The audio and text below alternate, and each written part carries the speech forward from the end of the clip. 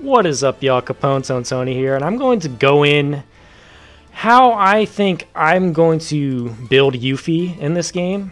I am very, I still have not drawn on this banner yet. I am like heavily considering it though. I said in a previous video when I first initially saw this banner, I was like, I was not like super hype about it, but I could see what Yuffie could bring to the table that no other character in this game can bring, and that's her being a great buffer and debuffer.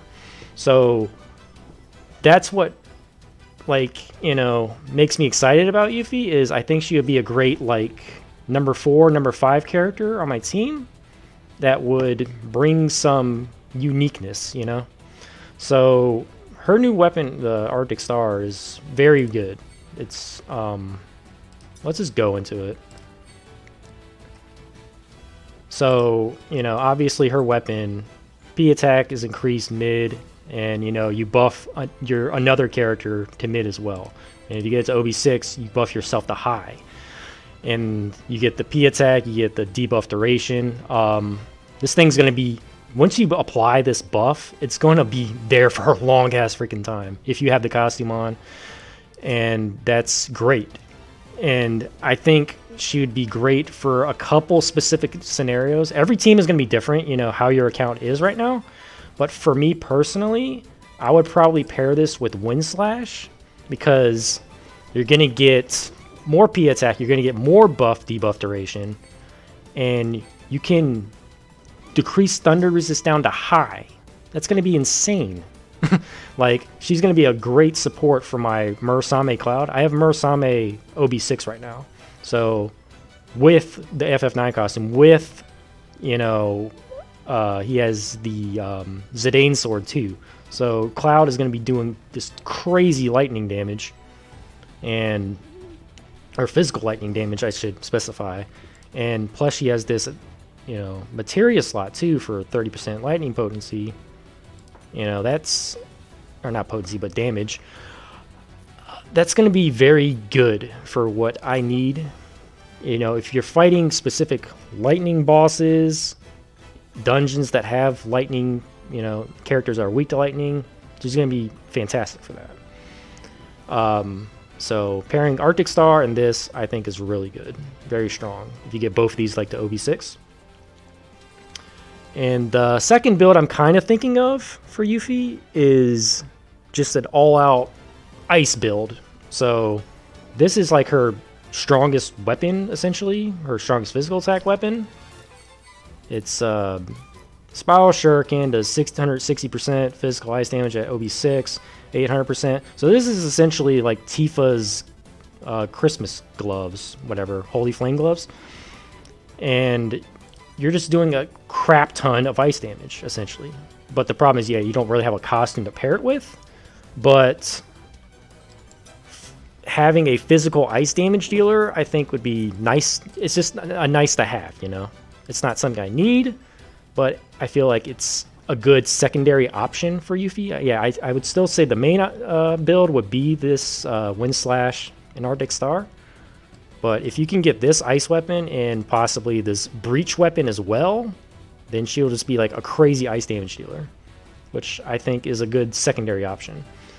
For me personally, I would not want the fi- the boomerang, which is the fire breach weapon, because I drew on the Sephiroth and Cloud banners for the fire weapons. Like, and Sephiroth is already doing the fire breach better than what Yuffie can do because his also debuffs physical defense. So that's why I wouldn't want to do that. Uh, the poison one, I'm not really sold on the poison yet because there's just so many enemies and bosses and whatnot that can be resistant to poison.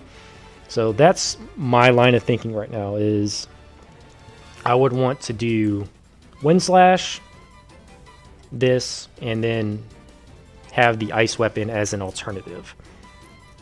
So he can do physical. So she can do physical ice. Because Sephiroth right now does magical ice. And that can be a difference. Because remember Hell House? He was weak to magical and ice. So Sephiroth was just perfect for that. But if you had Tifa's Holy Flame Gloves, the physical ice was just not as potent, you know? so yeah, I just when I think of Yuffie, I just want to. I think she's great because she can offer just a bit more variety to my setup.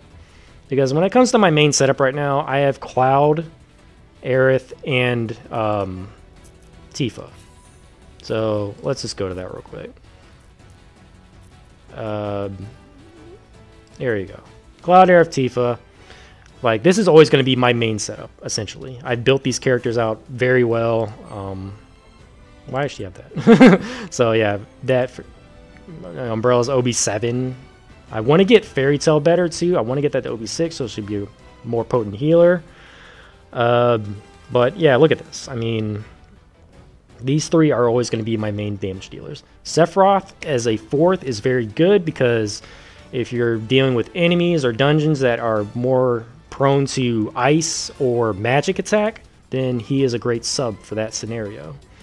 And then after that, I just want to have Yuffie as a specific, like, fifth, possibly, to support Cloud when it comes to these, like, lightning enemies and whatnot.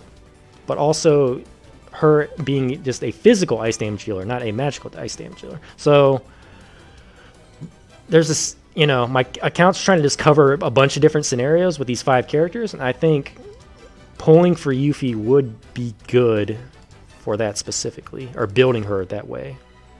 You know, and that's just my line of thinking right now. Um, how are y'all going to build Yuffie? I, I think the, you know, it really just depends on your account and what you have and don't have. Like, I do not have the Ice Breach weapon for Lucia, a Bald Eagle, I've drawn for it or wishlisted for it at least four or five times. I have, okay, not maybe four or five times. It's probably two or three times. I never got a single copy.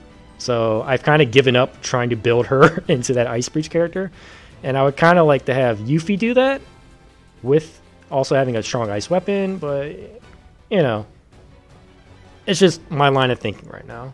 Will she ever be like Yuffie be a main character on my team? Probably not because you know Tifa, Aerith, and Cloud are just so far beyond right now because I've been playing the game for two to three months already. But I'm very intrigued. Um, I think I might pull for her, but the reason I'm hesitant to pull for her right now is because if you look at my crystals, I got 47, 450. Um, I almost want to save because next month Rebirth comes out. What if they do like some crazy event that goes with Rebirth? What if they have another like limited FF crossover during that month and I'm just low on crystals, you know? If I just pull the first page on this, I would say on average I'll probably lose it'll probably take like 8 pulls. That's just average. What if I get really shitty luck? and I only have like less than 20,000 for next month. So that's the, you know, that's, that's the thing about this game. You got to pick and choose what you're going to pull for. Do I need Yuffie? No, I do not need Yuffie, but I would like to have her built, you know, for another specific, you know, a couple other specific scenarios that she would be helpful for my team, you know? So that's just my thinking, y'all. Um, just let me know how y'all gonna build Yuffie, if you're even gonna use her, whatnot. Just uh, let me know in the comments, and uh, yeah, I'll might follow this up with a pool video, might not, we'll see. But uh, yeah, if you enjoy this content, please give it a like, comment, subscribe, and I'll see y'all next time. Later.